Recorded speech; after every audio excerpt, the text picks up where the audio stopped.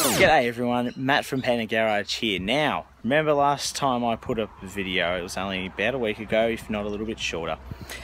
And I thought that things couldn't get worse. Well, guess what, ladies and gentlemen, they did. They actually got way worse. So what happened was, as you know, my car got hit on the on Sunday.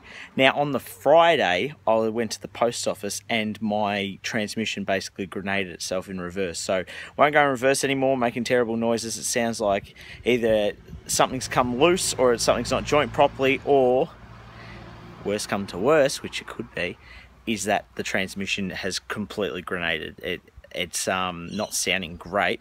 So I'm getting it looked at tomorrow. Um, I was hoping to make this video a bit earlier, but um, been a little bit hectic around here at the moment, but Raylan's in the front yard here. Uh, had to basically drive it, for, like push it all the way back, then reverse it into place by pushing it basically, and then drive it forward if I needed to adjust it, and then keep pushing it back. So my feet are buggered. I've basically torn them off. It's a bit warm here today. But yeah, so an update on the car now that I went into the wreckers. Um, oh, not the wreckers, sorry, the uh, panel beaters and they are saying no worries mate we can get it sorted out for you. Pretty straightforward. Um, how about the 16th I thought 16th of December. Fantastic. That is great.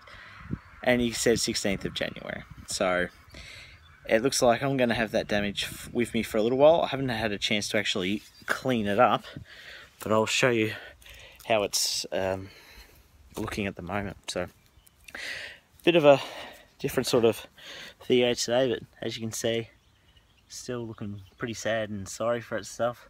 I do need to wash this car. I was really hoping to wash it last weekend, or even on the Friday when um, the transmission blew itself up. I actually had to walk home. From, I just left it at the shop. I um, walked home because uh, I had to head off into the city. So that was a lot of walking for one day for me.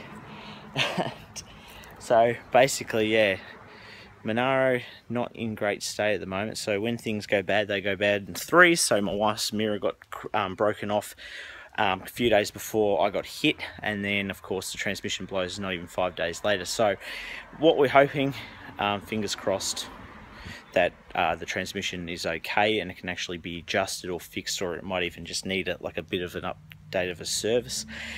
So I'm going to see the guy about that tomorrow. That's why I'm pushing the car back there like that so I can drive it out forwards because it's got all the forward gears but no reverse. So um, yeah, thanks for sticking around guys. It's, I know it's a little, been a little bit quiet, I keep saying that, but things are going to get better. Um, at the moment they've just gotten a whole lot of worse but um, things can only go up from here so thank you all so much for watching remember to uh, check us out on the socials uh, is yeah.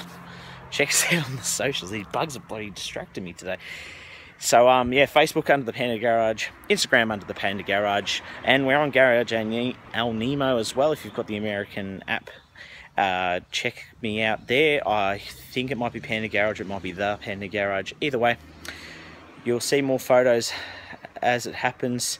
Um, seem to be more active on the Facebook page. So if you like guys like to um, give that a thumbs up, always great to get more people on board there. Remember to share any videos that you like. And until next time, guys, I'll talk to you in the next video. And of course, any questions, leave them down below, or any ideas that you'd like to see in a video, um, drop them down below or message me directly um, on either here or on Facebook. So until next time, guys, um, this has been Matt. This is Panda Garage, and that is a very broken and sad Monaro. So until next time, guys, see you later.